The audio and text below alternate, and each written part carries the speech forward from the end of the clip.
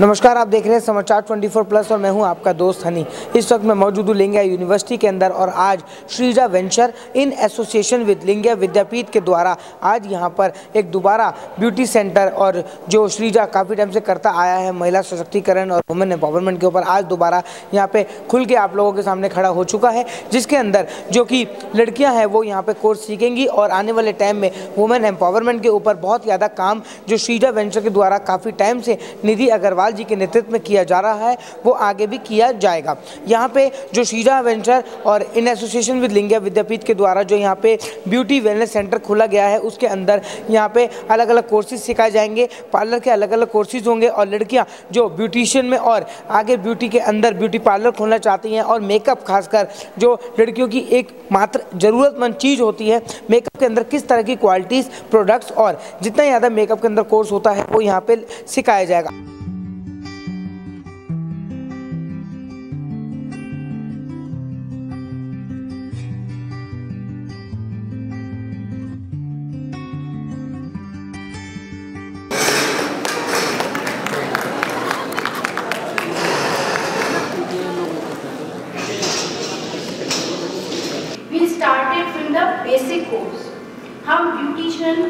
साथ साथ आपको सेल्फ ग्रूमिंग भी सिखाते हैं। हम टाइम टाइम पे वर्कशॉप देते हैं पर्सनालिटी ग्रूमिंग की।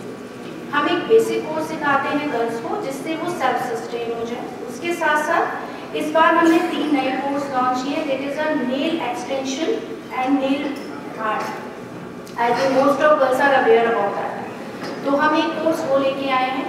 Hair styling and hair chemical hair chemical का आजकल बहुत ट्रेंड है। वो भी हम सिखाएँगे आपको। साथ में मेकअप प्रोफेशनल मेकअप आर्टिस्ट आप उस कोर्स करके आप प्रोफेशनल मेकअप आर्टिस्ट बन सकते हैं। तो ये हमारे कोर्सेज हैं, बाकी सारी डिटेल कोमल मैम को पता है, हमारा भी एसोसिएशन है तो हमारा भी स्टाफ वहाँ है, आप कभी भी अपना सैलून विज़िट कर सकते हैं। टाइम टाइम पर हम डिफरेंट डिफरेंट वर्कशॉप्स कराते रहते हैं फ्री ऑफ़ कॉस्ट और अदरवाइज़ वेरी नॉमिनल चार्जेस पे, जैसे पर्सनालिटी ग्रूमिंग की है या पैकेजिंग की है या आपको एक स्पेशल रिक्वेस्ट होती है बच्चों की मैम हमें स्पेशली ब्राइडल मेकअप सीखना है तो वो भी हम वर्कशॉप्स लगाते हैं। सर क्या कहना है जो शीजा के द्वारा सेंटर खोला गया और कॉलेज के अंदर इतना बड़ा जो अपॉर्चुनिटी इनके द्वारा दिया जा रहा है?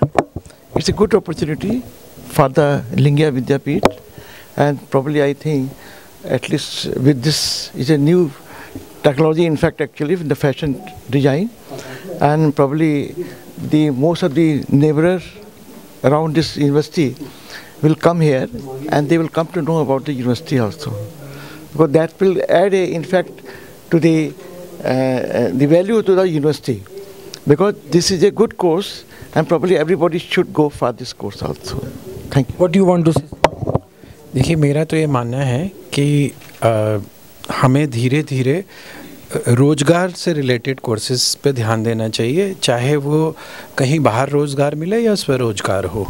अगर हम जिसे महिला सशक्तिकरण की बात करते हैं, अगर उस डायरेक्शन में भी बात करें तो पढ़ाई और पढ़ाई के बाद एम्प्लॉयमेंट ये दोनों का कॉम्बिनेशन बहुत ज़रूरी है और ये एक अच्छा इनिशिएटिव है प्रैक्टिकल कोर्सेज़ की तरफ़ जाने का, जो कि लिंगिया विद्यापीठ और श्रीजा ने किया है और हम लोग रोटरी में भी यही बिलीव करते हैं कि instead of giving somebody a fish we should teach them how to fish so that it is more sustainable for life so इस तरीके के सर इसको रोटरी के अंदर देखते हैं और किस तरीके का श्रीजा ने जो काम किया है वुमेन एम्पावरमेंट के ऊपर?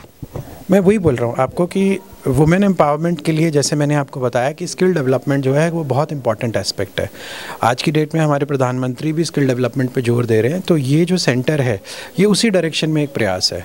और हम रोटरी में भी अक्रॉस दी वर्ल्ड हम स्किल डेवलपमेंट को प्रमोट करते हैं और इससे जो रोज़गार जनरेट होगा धीरे धीरे बल्कि हम इसमें ये भी कर सकते हैं कि आगे चल के इनमें से जो बच्चे अपना खुद का सेंटर लगाना चाहें और अगर उन्हें भी कोई आर्थिक मदद चाहिए हो तो उसमें भी रोटरी आगे बढ़ के उनको मदद कर सकता है कि जिससे वो, जैसे मैंने पहले बोला कि सेल्फ एम्प्लॉयड हो सके। मैम लगातार शीजा के सेंटर्स खुलते जा रहे हैं। आज लिंगिया यूनिवर्सिटी के अंदर इतना बड़ा पहल किया है। इनके लिए क्या कहेंगे?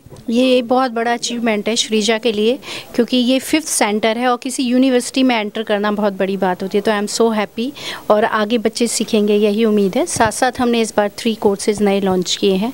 उम्मीद है अच्छे चलेंगे। जैसे कि सर ने बताया कि आगे चल के लड़कियाँ खुद भी अपना सेंटर खोल सकती है। शीजा उस मुनीफ पे काम कर रहा है। हाँ जी मैंने पहले भी बोला हुआ है कि अगर कोई अपना सेंटर खोलना चाहता है तो I will support definitely क्या कहना है sir Um, this is one of the best initiative, which is a collaborative initiative between the Shrija and the Linga Vidyapeeth. And if we look at from all the perspective, it is very, very new and uh, new for the university. And as for the skill development is concerned, it is one of the best initiatives, wherein we, along with the teaching, along with the academic, we can develop the skill of the females. We believe in empowering the women, and this is one of the best initiative, which we will keep on uh, working on it, and we will encourage the students, those who are already with us, or those the students, those who are coming to give a good environment so that they can develop.